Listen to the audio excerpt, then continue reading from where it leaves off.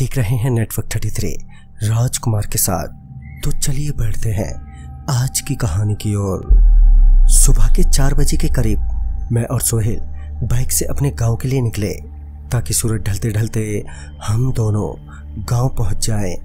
मगर जैसे ही दस से ग्यारह बजे की धूप बहुत तेज होने लगी और बारह बजते बजते तो हालत इतनी ज़्यादा खराब हो गई कि हमें वहीं हाईवे के करीब पेड़ों की छांव में बाइक रोकनी पड़ी। फिर वहाँ पर तकरीबन 15 से 20 मिनट आराम करने के बाद वहाँ से निकले और इसी तरह जगह जगह रुककर चलने के कारण आधे रास्ते आते आते सूरज ढल गया। वैसे तो हम काफ़ी ज़्यादा लेट हो चुके थे, मगर सूरज ढलने के कारण अब हमें गर्मी नहीं लग रही थी, जिस वजह से मैं बड़ी ही स्पीड में बाइक भगाए जा रहा था कि तभी पीछे से किसी बड़ी सी गाड़ी ने हमें ज़ोर से टक्कर मार दी और टक्कर लगते ही मैं और सोहेल बाइक से उछलते हुए सड़क पर जा गिरे। सड़क पर गिरते ही मेरी आँखें बंद हो गईं। फिर जब मुझे होश आया तो मैंने देखा कि मैं किसी स्ट्रेचर पर लेटा हुआ हूँ। फिर जब मैंने अपने आसपास देखा तो पाया कि मैं किसी खंडर हो चुके अस्पताल के गेट के आगे स्ट्रेचर पर लेटा हुआ हूँ।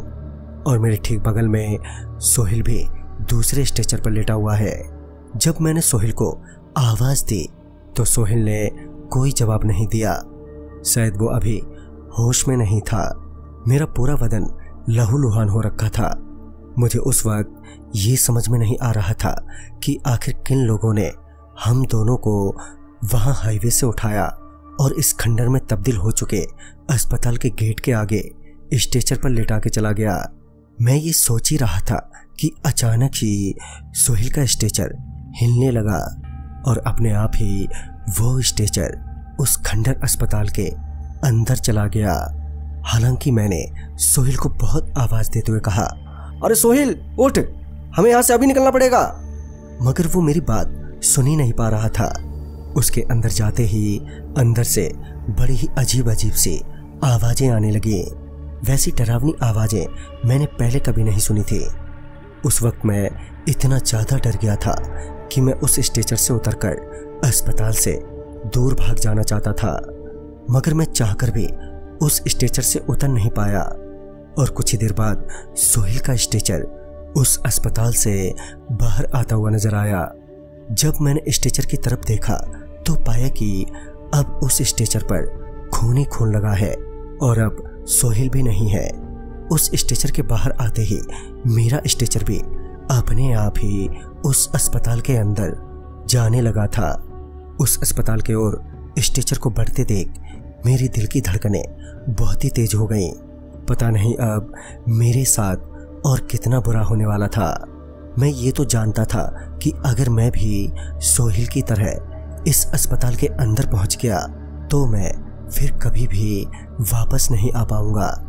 ये सोचकर मैंने अपना पूरा ज़ोर लगाया और उस चलते हुए स्ट्रेचर से नीचे गिर पड़ा।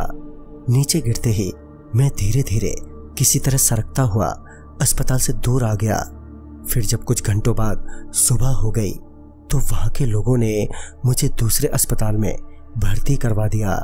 बाद में मुझे पता चला कि उस भूतिया खंडर अस्पताल में बहुत पहले कई सारे डॉक्टरों की रहस्यमय तरीके से मौत हो गई थी, जिसके चलते वो अस्पताल बंद कर दिया गया।